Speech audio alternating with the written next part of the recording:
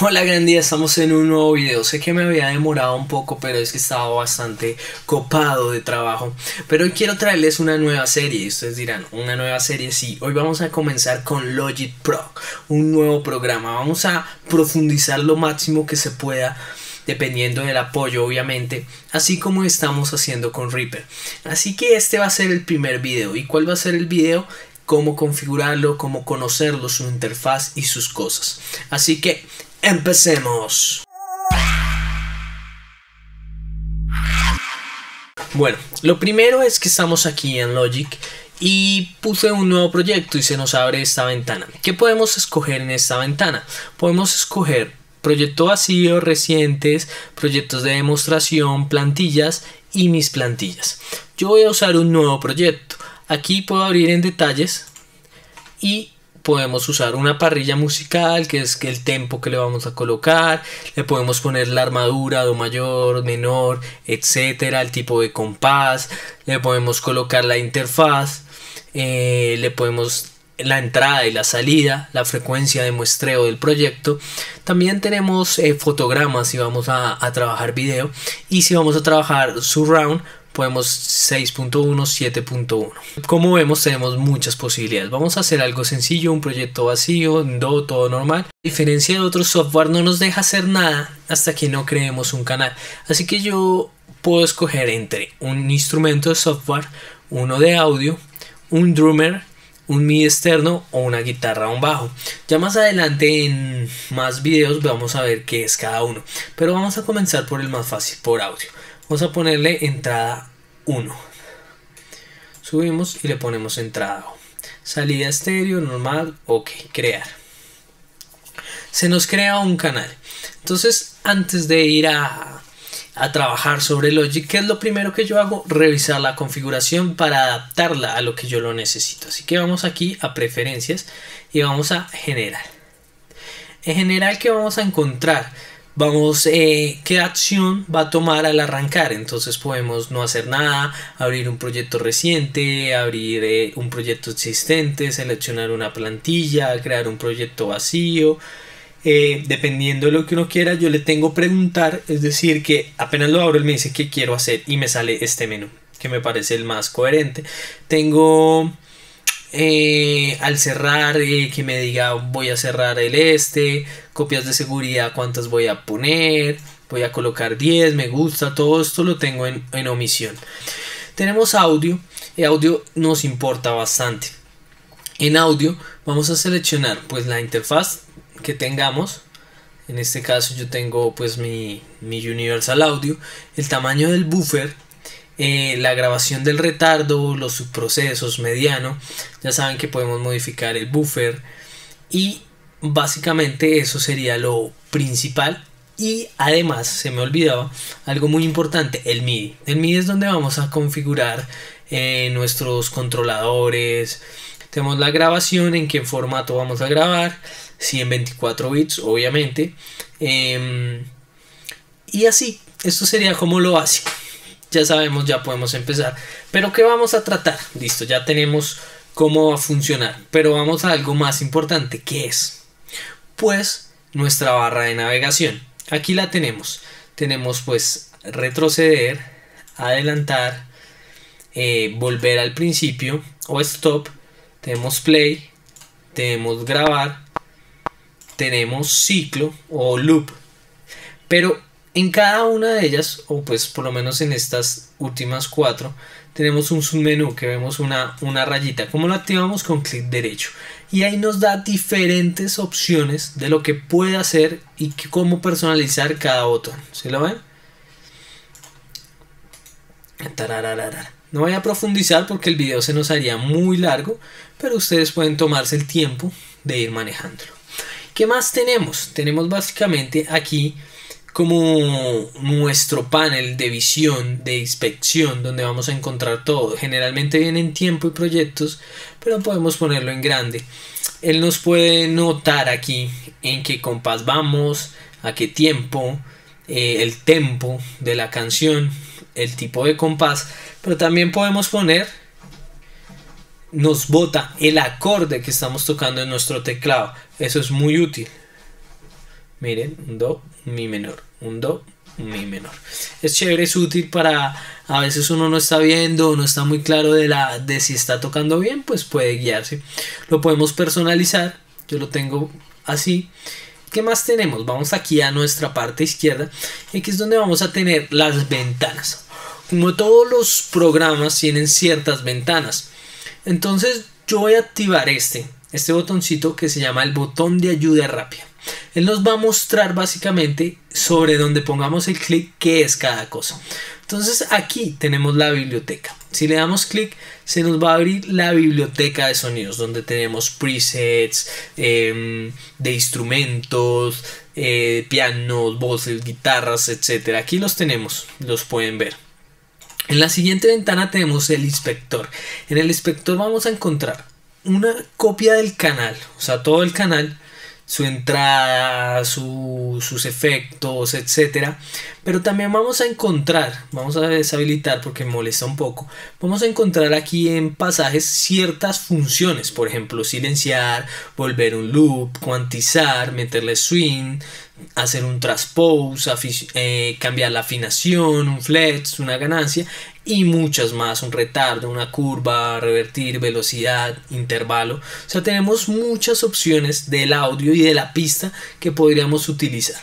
Y tenemos aquí qué tipo de pista es, si es MIDI, si es audio. Podemos cambiar el icono dándole clic aquí y vamos a poner, decir, bueno, voy a poner un cantante. Entonces lo selecciono y aquí me va a cambiar el icono. ¿Listo?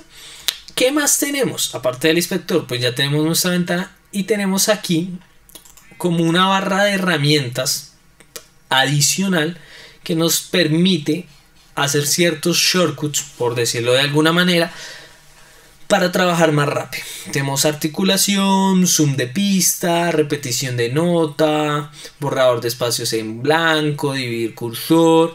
Y lo más chévere de esto es que yo lo puedo personalizar. ¿sí? Eh, podemos insertar silencio, cortar sección, repetir. Vamos cuando estamos produciendo, esto va a ser muy útil. ¿Listo? ¿Qué más tenemos? Tenemos aquí, que es Smart Control. Le damos clic y él se nos abre una ventana. Ustedes dirán qué es. Bueno, aquí yo puedo modificar algunos plugins. Miren, puedo modificar el ecualizador rápidamente desde acá. Y además, si tuviera otro plugin aquí, lo podría modificar rápidamente. Por eso se llama Smart, porque es para rendir, para fluir, para darle de una vez. Deshabilitamos eso y ¿qué vamos a encontrar aquí? Nuestro mezclador. Aquí encontramos el mezclador que ya hablaré de él. Tenemos esta que es una ventana de edición. En la ventana de edición podemos editar a detalle más para no estar aquí metidos eh, lo podemos editar aquí. Pero hay una opción para verlos y es que con Command 1 se nos abre la misma ventana principal. Con Command 2 se nos abre el mezclador. ¿Sí ven? Con Command 3 cerramos aquí. Se nos abre el Smart Control. Con Command 4 la edición MIDI. Command 5 eh, todo lo que es partitura hasta Command 5. ¿Qué más tenemos? Pues de parte del navegador tenemos estas funciones. Vamos a, colocar nuestro Smart Control para que nos diga qué es. Este me dice que es el botón de reemplazar. Eh, cuando existe una grabación o una parte en ella, se hace una nueva grabación y la va a borrar o la va a usar como una nueva toma. Mire, aquí lo podemos cambiar la forma en la que vamos a grabar las nuevas tomas, que ya en el video de cómo grabar en Logic lo profundizaremos. ¿Listo? Aquí tenemos las formas de grabar, aquí tenemos un afinador, tenemos un solo. Aquí puedo seleccionar las formas en que va a actuar el solo, lo puedo bloquear, puedo personalizarlo, aplicar ajustes, guardar. Eh, como les digo, ya se va a ir profundizando a medida que avancemos en el tutorial, pero vamos conociendo. Tenemos el botón cuenta atrás, es decir, que cuenta 1, 2, 3 antes de grabar. Tenemos el metrónomo y tenemos el volumen general, o sea, el maestro. Tenemos aquí el editor de listas, que si lo abrimos, aquí vamos a poder eh, mirar todos los audios que contiene nuestro proyecto. Si tuviéramos un proyecto aquí ya habría audio 1, audio 2, eh, y los podríamos modificar, los podríamos marcar, cambiar el tempo, el tipo de compás, todo. Ahora, tenemos este que es para escribir. Aquí podemos guardar nuestras notas, eh, que en tal momento hay que meter un reverb, que hacer tal espacio, que meter tal efecto, que cortar esto, que editar aquello. Entonces es un recordatorio para poder usarlo, muy útil. Aquí tenemos el explorador de bucles. ¿Qué es el explorador de bucles? Donde vamos a encontrar nuestro bucle es decir, todos los loops que tiene Apple, que son, se llaman Apple Loops. Aquí vamos a encontrar montones, son 60 gigas, ya pueden buscar. Y tenemos, por último, nuestra ventana de multimedia. Es aquí donde vamos a buscar archivos que no se encuentran dentro de Logic, sino que están en nuestra computadora, es decir, nuestras propias librerías. Vamos a, ir agilizando para no hacer tan largo el video. Y vamos por último en estas ventanitas. Tenemos eh, en edición, pues vamos a encontrar todo lo que es cortar, pegar, dividir, eliminar, borrar. Todo está muy detallado. Tenemos en funciones eh, si tuviéramos audio, pues se nos abrían todas estas funciones para modificar el audio o para eh, modificar el MIDI. Tenemos las opciones de visualización, aplicar zoom, eh, regla secundaria, marquesina, etc. Tenemos la, la función de automatización, la función de flex, tenemos un seguidor del cursor, tenemos aquí es donde vamos a escoger qué tipo de herramienta, lápiz, ya después profundizaremos. Aquí lo mismo, o sea, yo puedo tener dos herramientas, la principal y cuando presiono command se me activa la segunda herramienta. Tenemos en ajuste. ¿Qué tenemos en ajuste? ¿Cómo vamos a manejar la grilla? La podemos manejar inteligente, que es brutal, recomendadísima. Compás por tiempo, por división, por pulsos, fotogramas, cuartos de fotograma, por sample muy útil, es una rejilla como cualquier otro software.